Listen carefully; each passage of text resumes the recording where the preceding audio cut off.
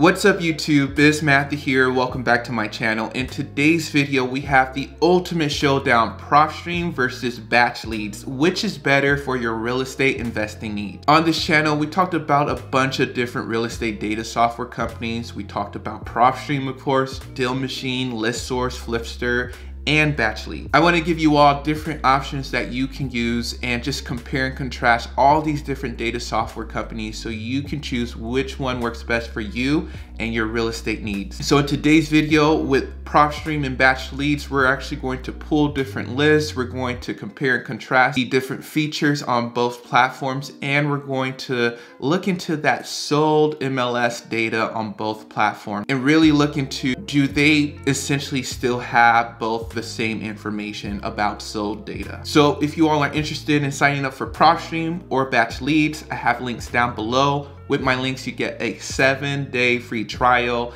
And also, it just really helps support this channel so I can make some awesome content for you all. So if you're going to sign up with PropStream or Batch Leads to pull motivated seller lists, find cash buyers, run comps, sign up with my links down below. All right, let's head right into the computer. So number one, we're going to pull a cash buyers list because with recent changes happening with the MLS, especially with PropStream losing access to sold data, we want to pull that list and compare both softwares, right? Because sold data is the foundation of cash buyers, right? That's where we kind of glean cash buyers from. Number two, we're going to look at motivated sellers list because that's what who we target in order to find cash buyers to send them these deals. And we're going to compare the two lists, the two softwares within them. We're going to look at comping, right? So comping looks at sold data. And so we're going to see, okay, what sold data does PropStream have? What sold data does Batch Leads have, right? And then number three, we're going to look at the interface, list quality, value, in my opinion, on the two softwares. All right, make sure you all like this video, subscribe. A lot of you all watch my videos, but are not subscribed. Make sure you all subscribe. Comment down below if you have any questions. And once again, check out PropStream link down below and batch leads. So number one, um, let's go to PropStream. We're just, we're just going to do Atlanta, Georgia, and we're going to pull a cash buyers list. Yes, I can go into here and pick their already made filter, but I like to drill down into the filters more to get the juiciest cash buyers, right? And so what we're going to do, we're going to make this a non-owner occupied list. So right now, Atlanta has over 300,000 houses. We're not going to pull all that, okay? So non-owner occupied property characteristics. Make sure you all take take notes. Might go a little bit fast, but residential properties. Um, and then we're going to go to MLS status. We don't want it to be on the market. All right. It can be on the market actually for cash buyers, but we'll just leave it. We'll just we'll just put any. We could put any actually right here. Um, and then we're going to go to ownership information and the maximum amount of years owned is one, right? Because we want it to be a cash buyer. Usually cash buyers, um, we want to see the most recent cash buyers who are actively buying properties for cash around the area within the past year.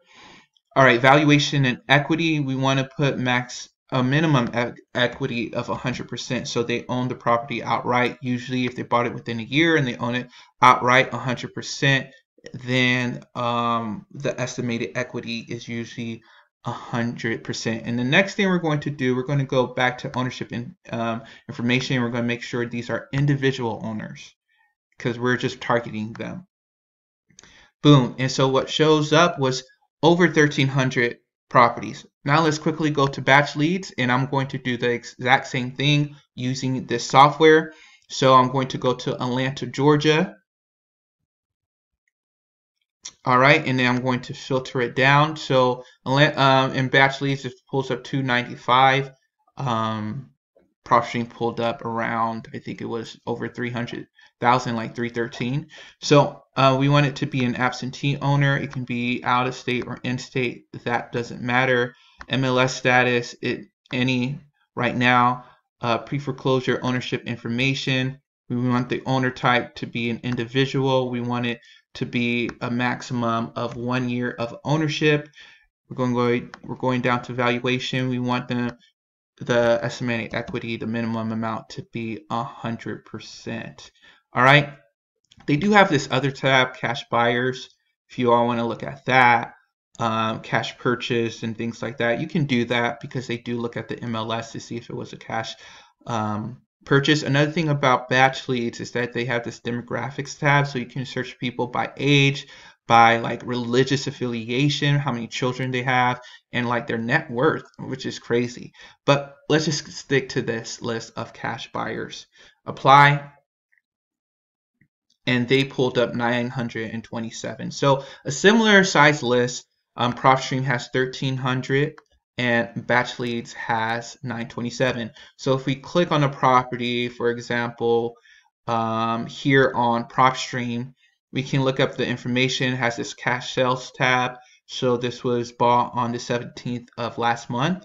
So they still have this data. And the thing with the MLS sold data on PropStream, they can still pull up the public information, which is usually found in um, counties right on, on counties websites on their assessors um, office or, or something like that. Or they use like other parties maybe zillow redfin realtor. I don't exactly know where but no data software whether it's batch leads list source deal machine propstream none of them have sold data for in states mls sold data in disclosure states right and we there's a few um, disclosure states in America. None of them have that information. All right, you all. But you can kind of calculate it and, and, and search that up. But for right now, they still have public record sold data that you can do comparables to.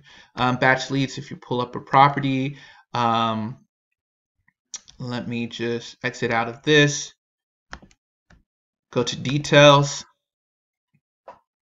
you have the property information, you have the sell amount right here, and they have comparable tab right here that you can look into whether you want sold data, active data, and pending.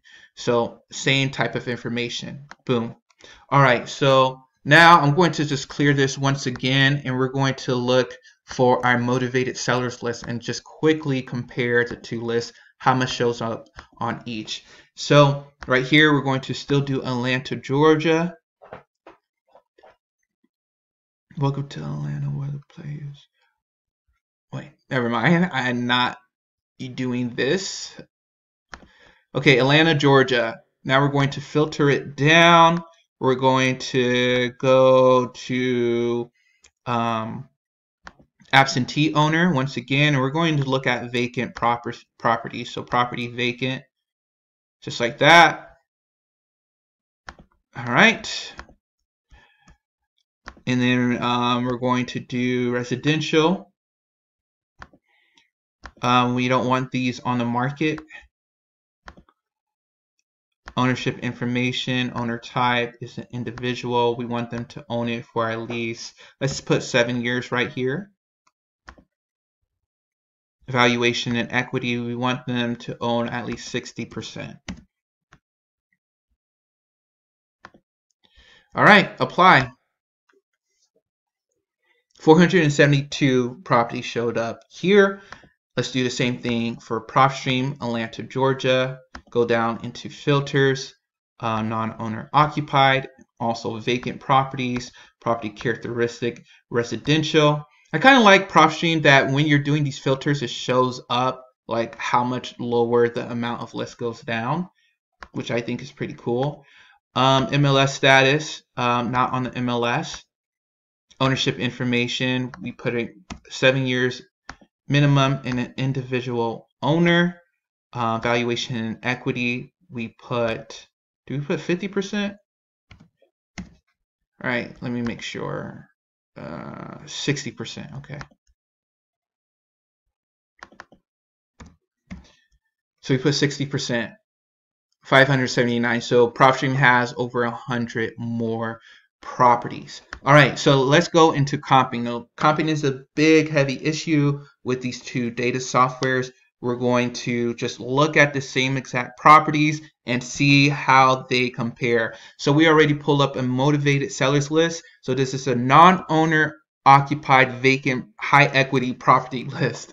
All right, and so let's just pick, I think I have um, properties here that we can search. So let's just search this property.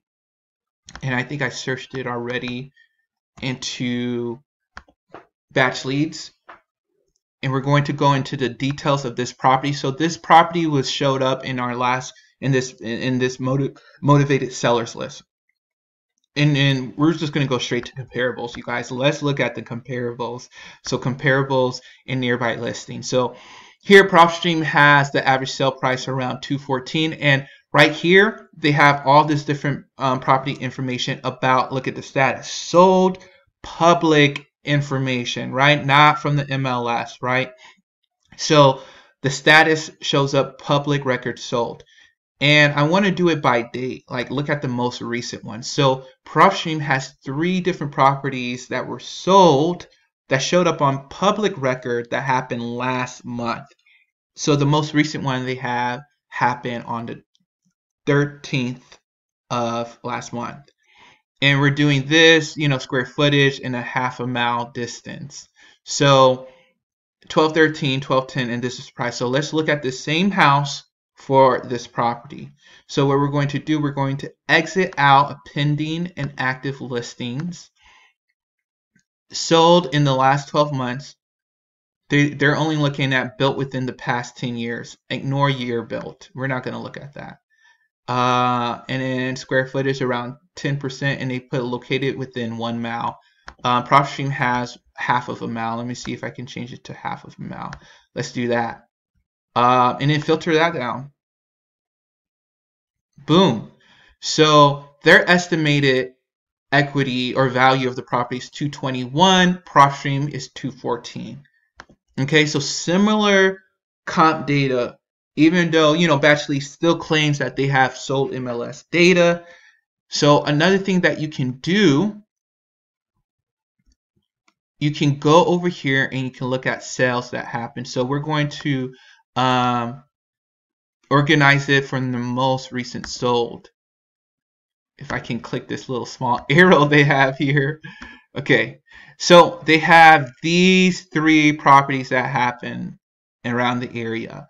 So they had 180, 349, and 250 that happened in December. I think the 180 and 250 are in PropStream. PropStream has this other property that sold for 76,000. Batch Leads doesn't have that property, right?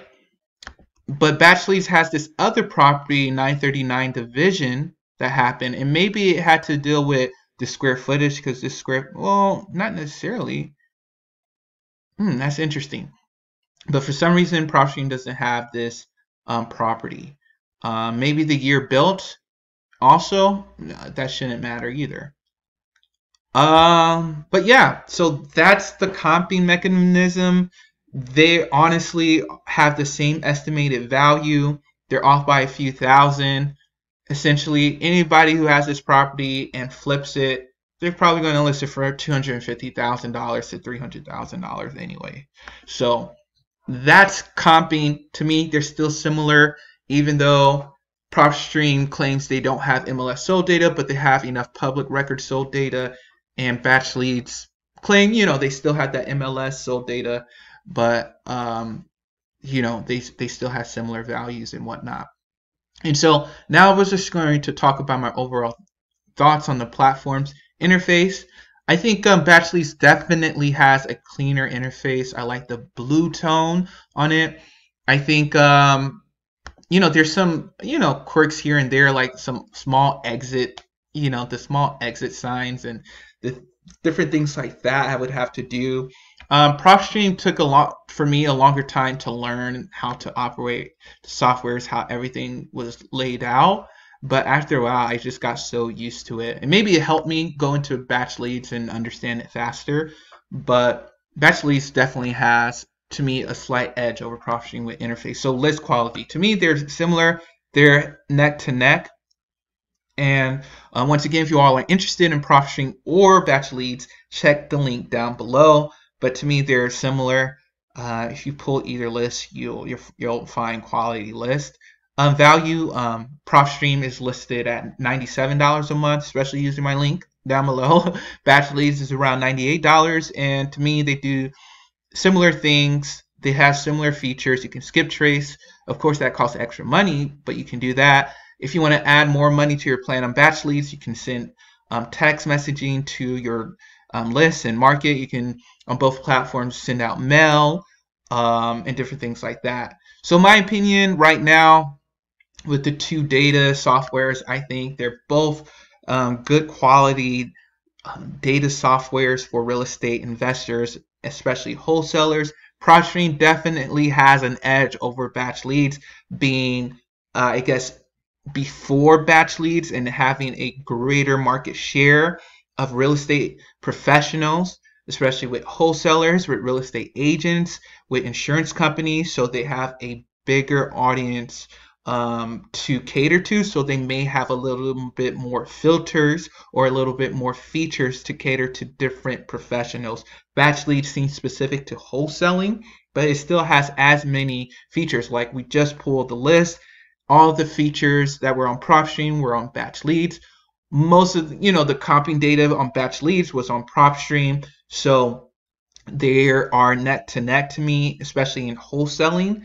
Uh, maybe the slight edge goes to PropStream because they're they, they've been first in the game and they're the bigger company. That's the only reason. And maybe they have more experience. Maybe um, they can find a way to get MLS sold data. Maybe they have more of a say in the real estate industry, and maybe they're better equipped to go against the NAR or, or Realtor Association to get data back than a batch lead. So they definitely have more firing power because they were recently sold to a huge company. So that's another edge that PropStream may have over batch leads. Um, but yeah, if you all are interested, once again, either one of them, check the links down below. I hope you all enjoyed this video and I'll talk to you all later. Peace.